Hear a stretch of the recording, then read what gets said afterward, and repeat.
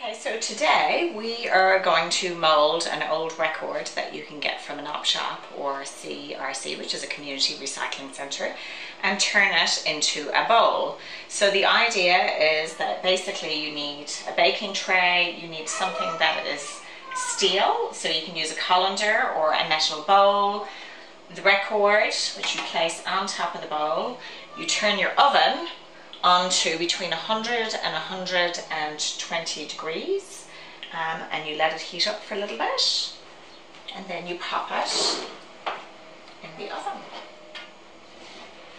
It only takes probably one to two minutes. It's pretty quick.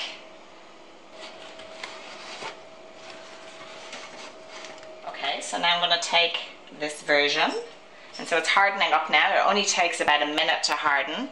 But you can see, look at the beautiful shape of it. And afterwards, you can easily paint this. You can put a plant in it, or you can put some fruit in it. Um, but it's pretty funky, eh? For something that you would pay a dollar for. But if it was new, how much would you pay? I don't know, 20 $30? But it's pretty cool.